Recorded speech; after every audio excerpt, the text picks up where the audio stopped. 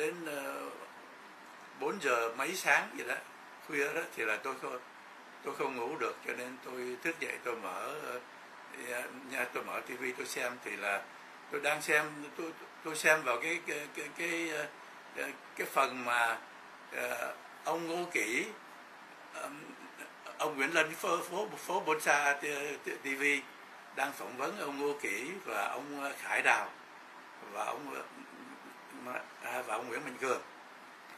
Thì tôi thấy ông Ngô Kỷ chửi ông Nguyễn Mạnh Cường ông Cường ông Cường cũng cũng đáp lại cũng không vừa.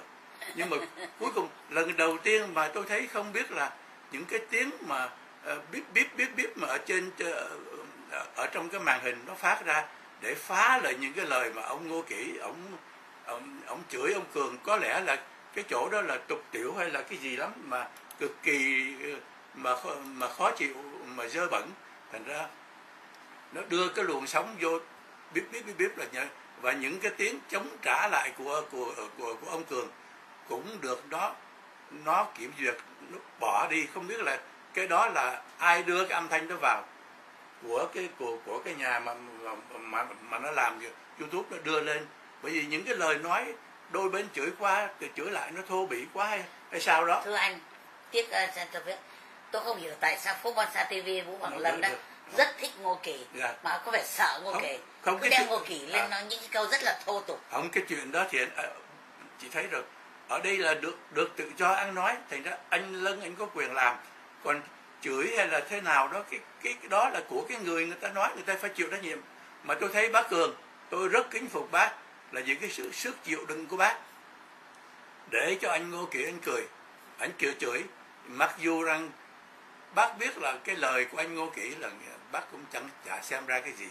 Mà cái nội dung anh chửi nó là không có đáng.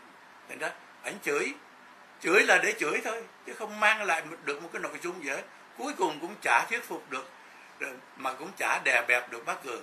Đúng đó, đúng. thành ra thành ra thành ra càng chửi chừng nào thì càng thấy mình cái miệng mình nó càng bẩn chừng đấy. Cái nội dung của cái buổi đưa hình lên để để mà tranh luận với nhau nói phải nói nói quấy nói ờ, nói ờ, nói với nhau để cho nó ra lẽ. Nó trở thành ra một cái cái, cái buổi cái cái buổi mà chửi bới nhau một cách khó chịu. Mặc dầu ờ, như là chưa đến nỗi mà mà mà, mà đưa tay hay là lấy giày lấy guốc mà phang nhau thôi. Đó chỉ còn còn tới mức đó thôi.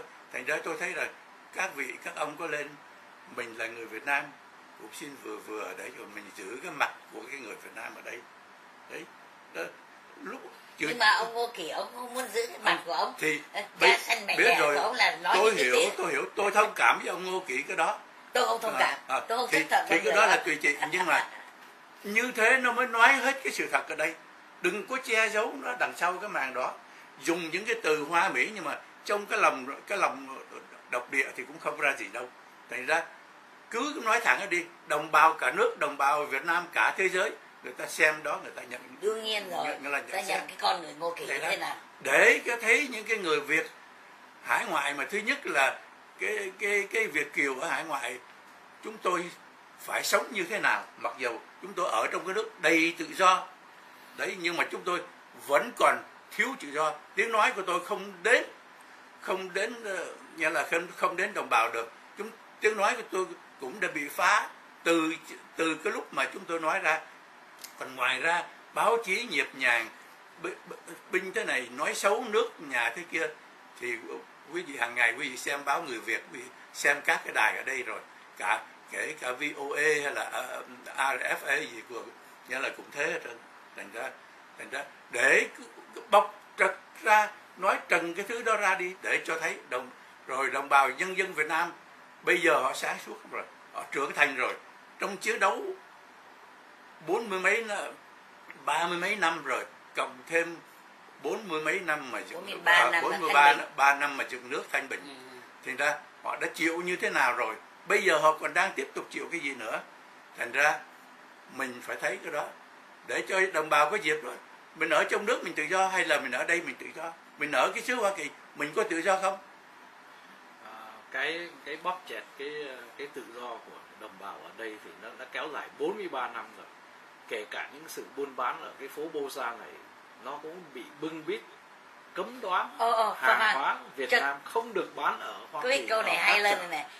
Ờ, không không để anh tôi thấy là anh nhớ rằng là bây giờ bóp chặt sự tự do của mình đố anh mà dám mặc áo cờ đỏ sao vàng đi đường phố con ra một một một hiện tượng là mới ở Một ông Mỹ bang. Virginia Ừ. một ông Mỹ xem đã mặc áo cờ đỏ sao vàng ở khu ờ, buôn bán người Việt và ông ta đã bị người Việt bao vây chung quanh và đòi hỏi ông ta phải cởi Cởi áo ra. đi ông này ông nói đây là cái quyền hạn à, của công dân Hoa Kỳ họ được quyền là bày tỏ ý kiến của họ họ mặc áo cờ đỏ sao vàng là vì ông này đã từng từ ở Việt Nam đi theo dõi cái cuộc ờ, đấu banh U23 của à, Việt à, Nam à, ừ. thành thử khi mà ông đi du lịch ở Việt Nam ông đã đã ủng hộ cái Ông cái cái cái, cái, Việt. Ừ. cái cái cái, um, tuổi trẻ Việt Nam cái U23 của Việt Nam đã chiến đấu oanh liệt ông đã ủng hộ với cái tinh thần ủng hộ đó ủng hộ tuổi trẻ Việt Nam ông đã về Mỹ ông mặc cái áo cờ đỏ sao vàng ông đi về cái khu phố người Việt chứng tỏ là ông muốn ủng hộ cái nhà nước Việt Nam cái tiếng nói trung thực tiếng nói của người dân Việt Nam đã được yêu chuộng thế giới yêu chuộng. Và ông chính ông Mỹ này ông cũng yêu thương nó thành ra ông mới mặc cái áo đó ở vào cái cộng đồng đó. Nhưng mà ông ta đã bị cộng đồng xua đuổi chống đối đòi ông ta phải cởi cái áo này ra. Nhưng mà ông lúc ban đầu ông đã nói cởi áo ra là nó sexy à?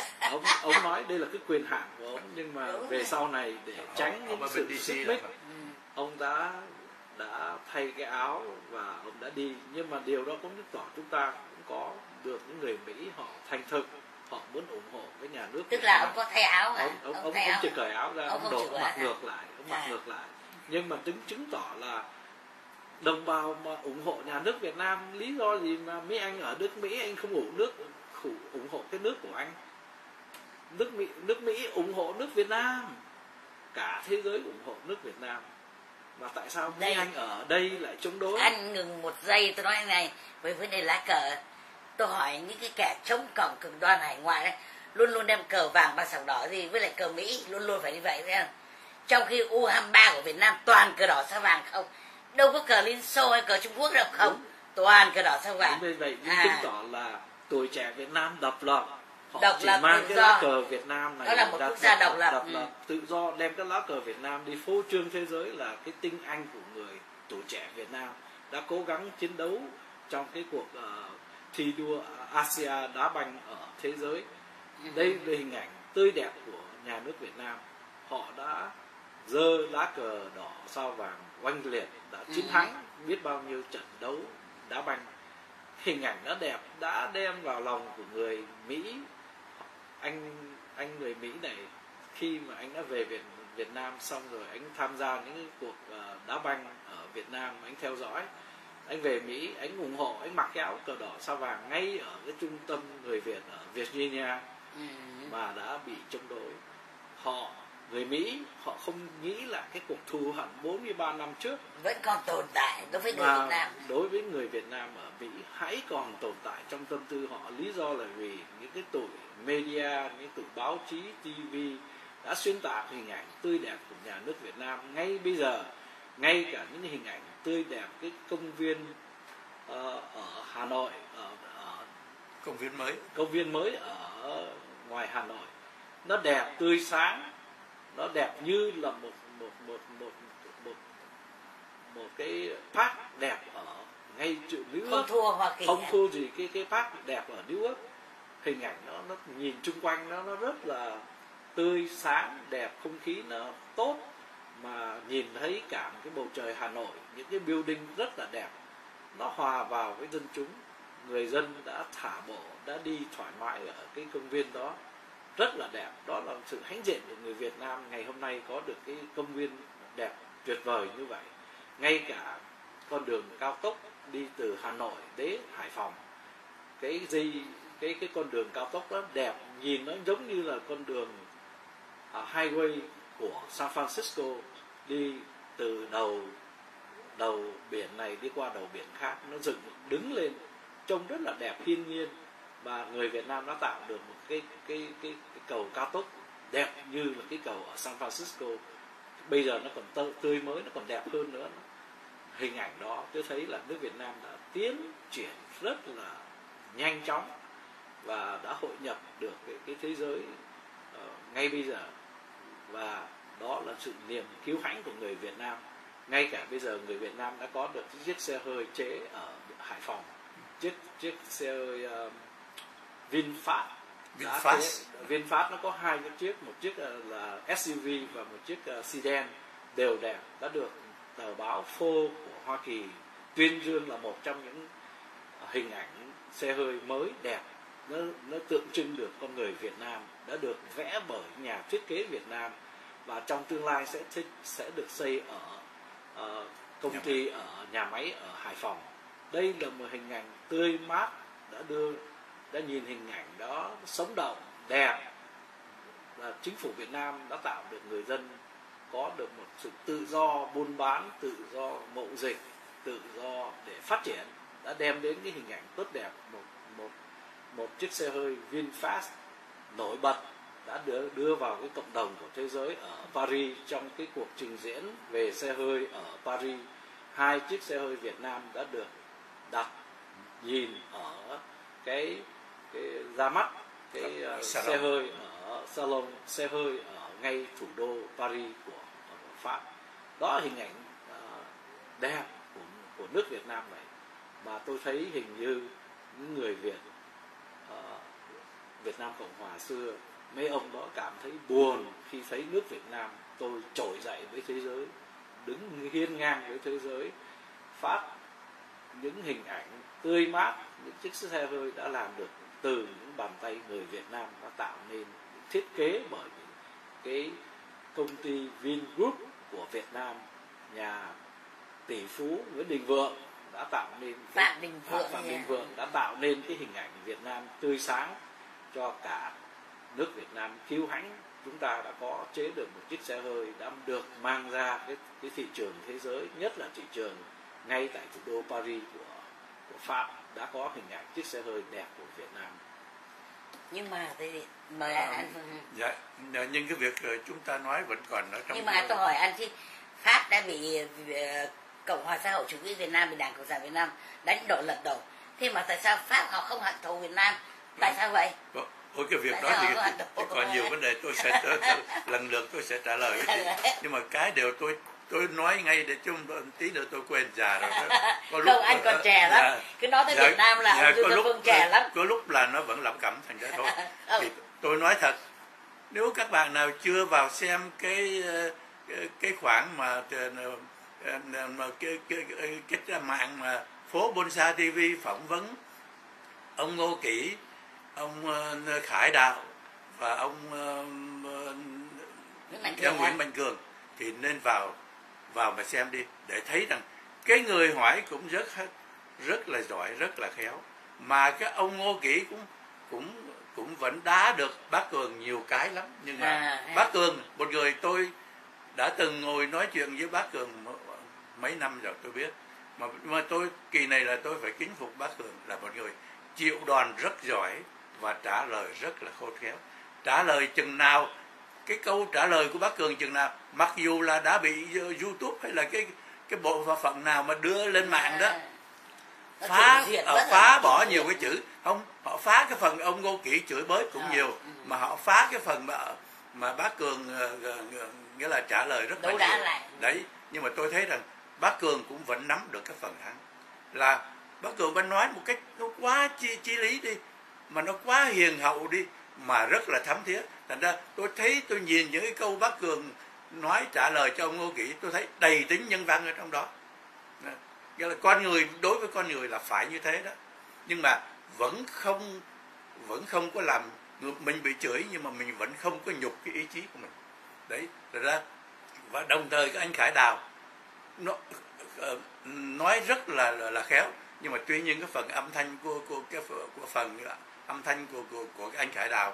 Nói nó hơi nhỏ nó hơi yếu thành ra tôi nghe có nhiều đoạn không rõ nhưng mà tôi thấy ảnh trả lời cũng rất là sắc bén. So sánh cái cờ đỏ sao vàng cái cờ vàng ba sọc đỏ rồi các ông lôi ờ, cái cờ cái cờ của phát xít Hitler đưa ra với người do thái thì thì nó như thế nào? Hay là họ mình cứ nhìn mình cứ nhìn cái cái là cái nước nhật bản đi.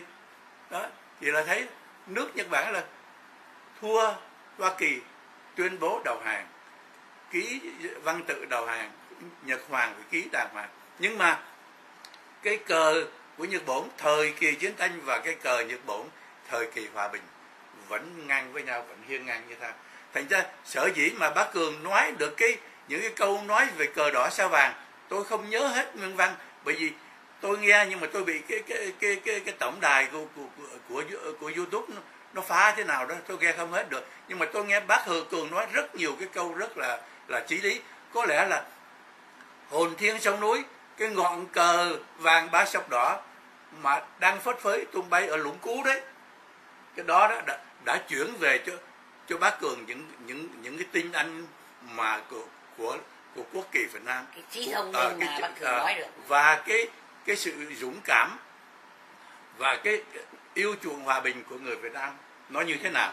Thành ra tôi rất lấy là kính phục bác cường mặc dù là tôi đã từng ờ, nghĩa là ngồi nói chung với bác cường nhờ, nhờ, nhờ, nhờ rất lâu. Nhưng mà bây giờ tôi cũng vẫn còn kính phục cái bác cường là cái người mà đã đưa được cái tiếng nói của người Việt Nam đi ra khắp thế giới. Rồi, bây giờ anh cho tôi hỏi cái này, anh tôi hỏi anh trả lời đi. Tại sao là U23 của Việt Nam là một rừng cờ đỏ sao vàng đấy, không không? À. Thông thường. Nhưng mà khi mà những cái bọn chống cộng cực đoan hải ngoại này khi họ biểu tình chống đối nhà nước Việt Nam thì luôn luôn phải có lá cờ Mỹ đi theo là nghĩa sao? À, thì, thì gọi ông thì, Mỹ ơi, à, thì, cứu thì, tôi à. À, thì là Tại họ, sao có lá cờ Mỹ? Đâu có thì họ là họ dựa dựa vào bu thôi à bu bu bu mỹ ơi cứu con à, à, à, là cứu tôi với rồi thì thôi cái gì rồi sự thật bây giờ nó chưa ra chưa ra ánh sáng được hay là đồng bào cả nước chưa thấy được đồng bào Việt Nam trên toàn thế giới chưa thấy được. Nhưng mà cái ngày mà họ thấy được cái ngày mà cái lá cờ đỏ sao vàng nó sẽ bay được đến đâu nó tung bay được đến đâu nó hiên ngang như như thế nào cái ngày đó không bao lâu đâu. Để là một ngày nào đó bởi vì dân tộc Việt Nam trưởng thành. Thưa anh đã trưởng thành rồi. À, nhưng trưởng mà thành rồi vì vậy mới có chiếc nhưng mà xe, chưa, nhưng mà chưa đủ. nhưng mà chưa đủ thì chị à, con đường đi tới để cho các nước thấy Việt Nam còn xa lắm còn nhiều lắm. Xe mà có một đâu, xe hơi tới đâu, nhà anh Việt Nam tới nhà anh bây giờ. À, đau thương và tăng tốc còn nhiều cho cái xứ Việt Nam này. Bây giờ cái người phá hoại thì còn nhiều lắm. Thành ra, sắp hết rồi. Nhưng mà một ngày nào đó không xa lắm nước Việt Nam sẽ trưởng thành hơn nữa và sẽ đứng vào cái hàng ngũ và cái cung bậc ở trên thế giới thế này để cả nước đều biết là Việt Nam là một dân tộc yêu chuộng hòa bình. Ừ. và sẽ dĩ phải đánh Pháp, đánh Mỹ, đánh Ngụy là vì để bảo vệ đất nước thôi chứ không có đi xâm lăng đất nước nào hết. Cái điều tránh cái cái chiến tranh Việt Nam mà cái người Việt Nam phải nghĩa là phải đỡ lấy cái đau thương đó. Thật ra cái quân đội nhân dân Việt Nam đánh là để để bảo vệ. Nhà tự vệ ừ, tự và vệ. và bảo vệ đất nước và bảo vệ hòa bình thế giới và hòa bình cho khu vực. Nói ờ, nói với anh nói là nước Việt Nam sẽ ờ, sẽ ờ, đứng ngang hàng với thế giới. Anh phải biết Việt Nam đã có đi một đường ngoại giao cho đến năm 2000 2030 tức là sẽ đưa nước Việt Nam vào một cường quốc, tức gọi hạng chung của thế giới. Thế nào là cường quốc hạng chung tức là một một nước Việt Nam có khả năng ảnh hưởng đến tình hình an ninh chung của thế giới. Việt Nam sẽ có tiếng nói Việt Nam nó sẽ ảnh hưởng đến một cái kỹ nghệ nào đó ở thế giới. Tức là Việt Nam sẽ được tin tưởng về cái kỹ nghệ đã mạnh một chính trị đã được trưởng thành và đã đi vào trong cái guồng máy của thế giới về kinh tế chính trị đi vào cái cái cái cái cái, cái trật tự của thế giới và Việt Nam đã đóng góp lớn trong cái vấn đề giữ cái nền hòa bình trật tự thế giới đó và tiếng nói Việt Nam sẽ ảnh hưởng trong những khu vực Việt Nam sống chung quanh Thái Lan, Campuchia, Hồng Kông, Hàn, Nhật, Úc và đi đến nước Ấn Độ và kể qua cả nước Trung Hoa. Khi mà sức mạnh của, của Việt Nam đứng vào hạng chung quyền lực với cái quyền lực của thế giới, cái trật tự của thế giới khi mà nền chính trị Việt Nam đã được bảo toàn an ninh vững chắc kinh tế Việt Nam đã có hiệu quả có thể ảnh hưởng đến cái kinh tế của thế giới và người dân Việt Nam đã tiến triển đến mức độ hiểu biết để có thể cầm được những cái tư tưởng theo thế giới và giữ, giữ được cái nhân bản cái tự do hòa bình của thế giới. Và Việt Nam sẽ là một trong những quốc gia sẽ có ảnh hưởng đến tất cả những cái chương trình uh, phát hỏa uh, ờ, về vấn đề an ninh thế giới khi Việt Nam có một có một cái tương tác nào đó nó sẽ ảnh hưởng đến cái trật tự của thế giới và kinh tế của thế giới. Đó là cái chiều hướng Việt Nam sẽ đi trong vòng 2030 nước Việt Nam sẽ là một trong những nước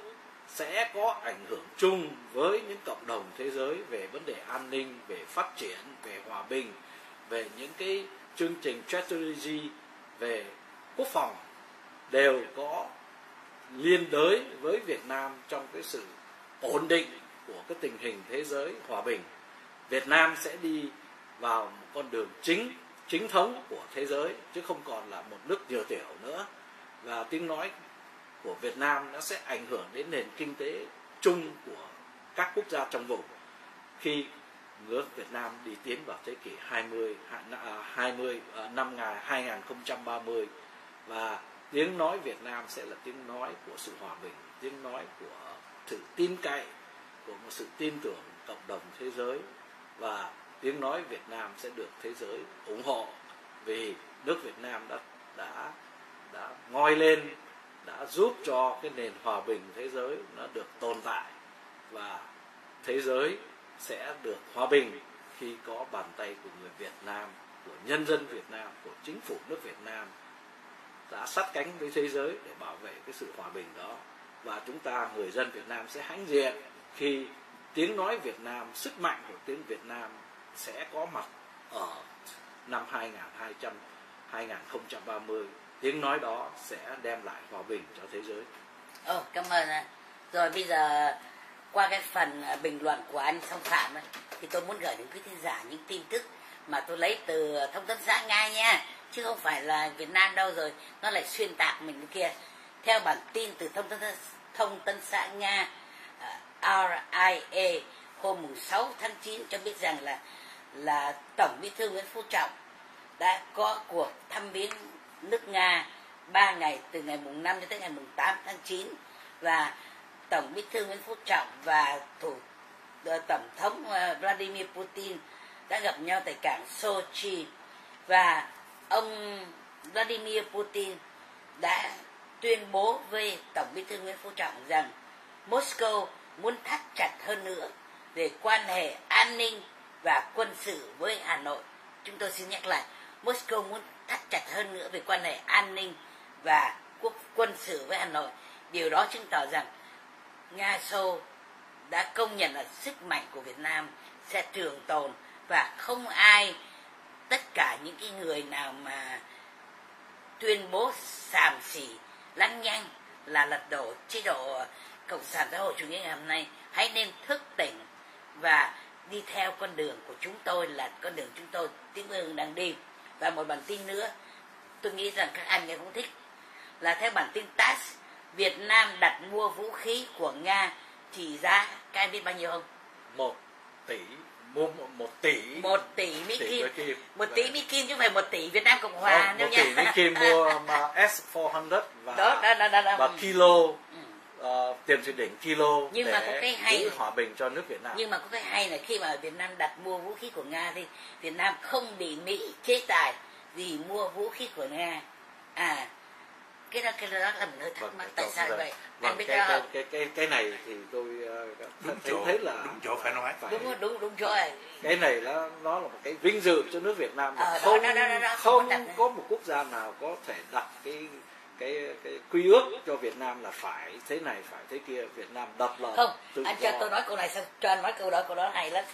Ông bộ trưởng ông bộ trưởng quốc phòng Mỹ James Mattis đã đi thăm Hà Nội vào tháng Giêng năm 2018 và có nêu tên Việt Nam, Ấn Độ, Indonesia trong danh sách miễn trừ uh, uh, uh, miễn trừ chế tài mua vũ khí. À, xin mời.